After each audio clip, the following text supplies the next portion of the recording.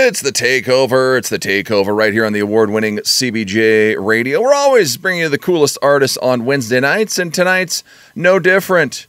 Chase the Comet is an alt metal band comprised of couple Nika and Alex, who in 2016 they took a one way ticket from Russia to Los Angeles with a guitar, a microphone, and a dream. Well, their brand new album Illumination Part 1, along with the single The Road, is out now. We're excited to have vocalist Nika and guitarist Alex from Chase the Comet on the show. First, guys, thanks so much for coming on. Our pleasure. Thank you for, for having us. Yes. yeah, what a story. First, I'm thinking, what what, you, what were your friends and family thinking in 2016 when you said, hey, we're, we're moving to LA, we're going to chase our dream? Um, I would say uh, I don't really remember what our family said. I'm sure I they were pretty remember, excited. I don't remember the support. I think they might have expected us to go there for quite some time, you know, yeah, and then, come and back. then to get back because it's obviously tough and and challenging, and probably they uh, didn't know how far we would go with our you know music adventure and uh, stuff like this but i think they were expecting us to get back in like maybe six months. Yes. Something, something, like, something like that. And then we got stuck for five and a half years without right. seeing our families and seeing our friends. This is when they got that this got this gotten really serious for us yeah. you know? Our, our music path in los angeles and in the united states in general yeah, it's it's been a crazy road for you too. that's for sure. You fell in love with music. You guys were in different bands in Russia, and then you came to the states. So, well, first, when you come to LA, where did you stay? How did you guys survive? That's a very very good question. Thank you, Jeff. Actually, I wrote a whole book on this topic. Um, talk well telling about our adventures and you know how it happened like literally by days and this book is available on Amazon. It's called Chasing the Dream by Nika Comet. Uh, oh, wow. Me. Yes. yes. Uh, and uh, mm, trying to make it succinct, we had a few acquaintances from back in Russia because we have achieved some success in Russia with, as you mentioned, different bands. Um, and uh, that's where we but this wasn't the reason why we knew those people you know because they were not close friends to us so we would not like hang out in, in moscow for instance right? Yeah but yeah. when we got in los angeles we were like okay who do we know? Who, yeah. do, who do we call? Who are you gonna call?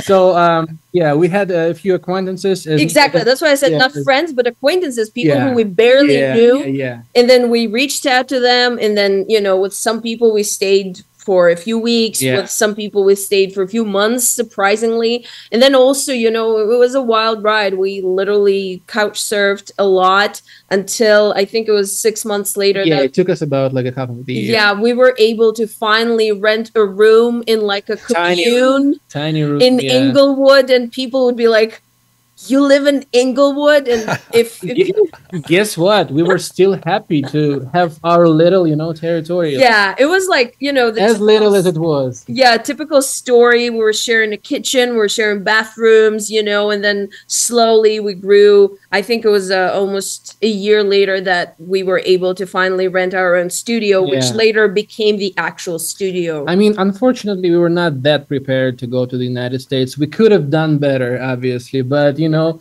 we were so adventurous and so young. And we were and, pretty much just drinking with our friends, saying our goodbyes. Yeah, we were like, okay, yeah. we're gonna go to the United States. It's like you know, you hang out, and the next day you end up in Las Vegas, for instance, like a like a movie scenario. So this was us pretty much. Like we just went there, not really planning our budget or whatnot. So it was just it was just like a leap of faith, you know. Yeah, that's, that's what happened. That's crazy. But uh, how was the language barrier? Because Nika, you speak like four languages. Alex, I think I don't know if you did. You know any English when you came here? Well, it was tough for me. It was the most difficult challenge for me uh, in terms of like overcoming my, um, you know, uh, barrier or how um, shy I was when I was uh, trying to talk to to people in English because I was just I kept silent for almost like maybe two years.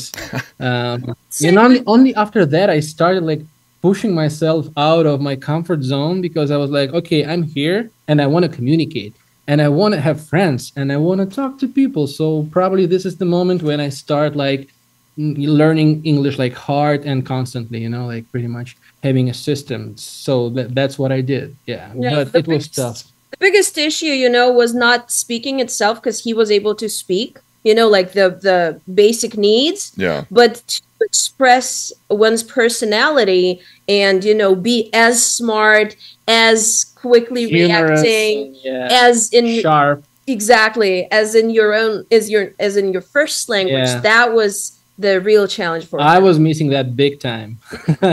Yeah but Yeah. you Oh, know, you know, you know what helped me? I, we started working as party characters. For kids. for kids. And this is when you have the environment of kids who you have to entertain right? And you start speaking the easiest language possible. So it's like hey let's go there. Let's do this. Let's jump. Let's run. Let's play limbo. Do you have a do you want to have a balloon? And stuff like this. So pretty simple. And this is how you get the pace uh, of the of the language. So it's like you learn slowly like a kid. Almost like a kid you know? Yeah.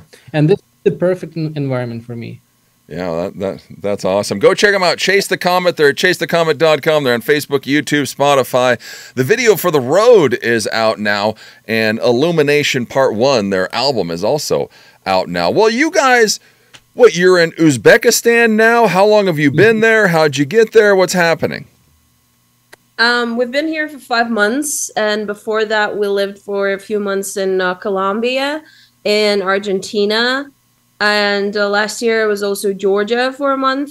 Mhm. So basically, after we we had been stuck in the United States for five and a half years, and don't get us wrong, we love America. We traveled a lot. We visited many national parks. We In toured States, yes yeah, um, we didn't make it to the East Coast in this state, but we'd been there before. It, it, it was not our first trip to America. So, I mean, we traveled a lot. And while there's still a lot of places to see and, you know, cities to play in the United States, um, we really wanted to get out of the country and, you know, to recharge our energy, to recharge our batteries, and also to see, you know, to see the world. some countries were just on our bucket list you know like as as argentina i i've always dreamt of you know going there and seeing like what it looks like how people live there and uh, i'm happy that the previous year was very special actually. So yeah we've visited many countries many, did a many lot of different things to to get you know to come back strong. Illumination is just the first part as uh, you have mentioned. So there's going to be a second part and we needed to find that inspiration somewhere you know and while living in la for seven years was definitely you know a level up for us in many many fields. It was still very draining and you know people living in big cities in america will probably understand this very well. Oh, yeah. how draining it may be for a creative person to live in a big city you know always trying to grind and like hustle. So we needed to take that to take down this pressure, pressure yeah. and uh you know come back you have to go yeah you have to go travel time after time you know to recharge your inner battery to see the world because it's beautiful it's exciting Yeah, there's a lot to explore out there, and, and definitely don't be afraid to to go see it. Like you two definitely aren't afraid to go see it. The third, this is your third album in English. Was it time to sign with a label? Why Pavement now? Um, I guess I kind of I I have kind of answered a little bit of that. We felt very, you know, that we have, you know, invested a lot and I'm talking both time and money and a lot of our energy and we were running out of everything, you know. We'd been independent for a long time. We'd been doing everything ourselves and it's, you know, mostly the two of us, so we'd been doing everything. and i guess Socials covid covid hit us pretty hard as well Yeah, yeah and, and uh, we were also having some documents issues like really big documents issues. And you know if anybody's interested again uh, my book the book. or listen yes to it. yeah. yes. I have also recorded an audio version also uh, available on audible. Um, and uh, yeah we we we wanted to see if something can be different because we had already been where we you know where we were doing everything ourselves. So we wanted to see how it can be different and you know what can be what else can be in store for us because we really wanted to um, level up you know our shows and everything it's it's very draining to do everything independently um, yeah that's why we decided to release this album with Pavement uh, and you know see how it It's- goes. yeah, it's been exciting so far. Yeah, get some support because, like you said, you can't do it all yourselves because that's No, uh, not really. no- I mean, you can, but it won't last long. yeah, yeah, or stick around, or it'll be a quick flash, or or what? Because you guys even you, you guys are producing your music, right? Yeah. We just we just love doing it. I mean, like at some point we just you know switched going to studios to our uh, home production and you know like self recording because n- n- not always when you go to the studio and you pay a significant amount of money and you don't get the result you're looking for and some of your demos they sound even like sharper and uh, you you enjoy the sound and the whole production even more than you Than what, what you you what you what you get studio. yeah as a result from working with the producer at the studio. So it was important for us to, I guess, um, have this kind of like mastery of uh, of the craft, how you record yourself from zero to to the final hero. product, to hero, yeah. And I guess we have a song called Hero. yeah, Yeah. this this learning this learning curve was kind of important for us, and I guess we've mastered it uh, pretty pretty it was, well. It was well. also the question of money. Yeah, you know, as an immigrant, you don't make a lot of money. You work two jobs, no days off, and then you come back home where there's no AC and you record the album literally naked Yeah, because it's so too hot This and is the only in LA. this is the only sustainable sustainable way to record yourself if you want to go ahead and you know move on with your with your songs. So, Yeah. The only thing that we don't do is we have uh, someone mixing our tracks. yeah, we don't mix our stuff. So, but everything else we yeah produce and record ourselves, and we're very proud of that. Hmm Oh, you guys knocked it out of the park. Illumination Part One sounds amazing. Because who does the drums? There's a, there was a guy in uh, in Russia in Moscow. He was recording the drums for us remotely. We were in Los Angeles. actually we were in Los Angeles But and then we were in Pray Moscow. Like the demo drums. Yeah, so the guy would follow my blueprints of the drum parts, but then he would add some, you know, extra flavors and some, you know, like professional, um, you know, I guess, uh, point of view to. Yeah, the real drumming, the real drumming. But uh, yeah, we we're really proud of this one in terms of like the sound because the sound is big and huge, and this is what we were kind of like chasing for many many years, but we were not quite there, and this time we're there Yeah. fully. Yeah, no, you you guys got there. That's for sure. Let's talk about a couple of the tracks on here. Well, first, let's talk about Hero, since Nika mentioned it. Song about Alexei Navalny, a Russian opposition leader. I mean, huge for you guys. This is a, this is an amazing song. Tell us a little bit about it. Well, the main, you know, the main point you have already mentioned it, but I personally think it's. I mean, Alexi definitely inspired me to write the lyrics. It You was know, the figure. Yeah. in in the light of uh, his recent death you know i think this song acquires more meaning because it's basically about you know the uh, the necessity to keep speaking out against anything that's not fair in this world and especially you know we're nerds we love harry potter and the lord of the rings and this is why i don't understand how the same people who read the same stories and are Harry Potter and the Lord of the Rings fans and you know other fantasy fans and then they go and support the war, for instance. or or they just don't you know they don't follow what they learn from these Right, books you right. know and and I strongly recommend anyone even if it seems insignificant you know it it, it matters to just speak your truth to you know to carry the light and to carry the um truth Yeah. you know through your life. And that's what the song is about. and it's also about like stepping up and being your your own um like uh, example. example and figure to follow. Like not, not it- it's not about like political issues or whatever like the the opposition Yeah, we're or, not or, being or whatnot, whatnot. It's a general statement about how you are responsible for your own life i think Yeah. yeah Well, and another one with what's cool, you don't hear horns too much on an alt metal album. And there's a video on your guys' Facebook for the song When Do We Stop Growing Up and Start Growing Old? Nika, you were putting horns on this song before you even knew what the song was. no, not me. That was his idea. And honestly, uh, we, I mean, I know we're eclectic and some people would call us a metal band. I would say we're more rock. Uh, and we also have some pop songs. Yeah. And we're playing with genres like as much as we can to keep ourselves entertained. Um, and that's why, yeah, it was I'm Alex's just- idea. I'm just obsessed with bringing some talented musicians, you know, to our records and uh, adding some extra flavor and extra layers. So um, my initial idea was for the song "Triumphant" to have the horns in the breakdown. I thought, what a wonderful idea to have a breakdown. Do-ga-da-do, do-ga-da-do, do-ga-da-do. Yeah, with the.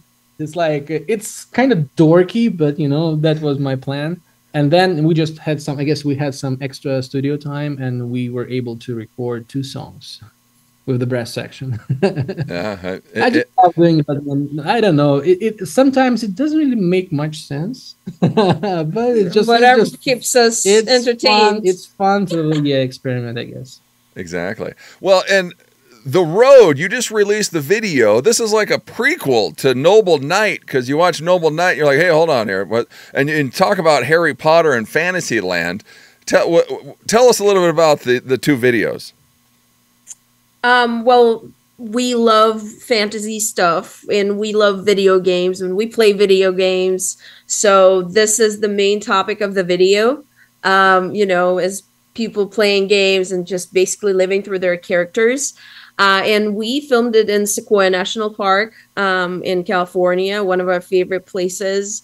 Um, and uh, yeah, I I think you know the topic of the good and the bad, the white and black, the yin and yang. It just goes through pretty much like almost all of our videos, almost all of our songs, and this is something that we love playing with. In in this video, you can see me dressed as a white elf. You know, we when we can go to Skyrim with references, we can go to the Lord of the Rings. You know, and um, even um, um, Game of Thrones, where Sure. you know, there's Yeah. Daenerys, and there's Jon Snow dressed in black. So like, it's a lot of references that we put together. You know, again to keep ourselves entertained and uh, yeah, to share it with our fans who you know who are not afraid to also you know be geeks and Yeah, because we don't divide music and cinematography. I guess Yeah. it's it's we we love it all. You know, movies, TV shows, and music and records. We get inspired from. We can get inspired inspired musically from a video game. For like, for example, uh, The Witcher uh, Three, uh, The Wild Hunt. The music is just magnificent. yeah, we even had it as an intro yeah, yeah. to our show, live shows.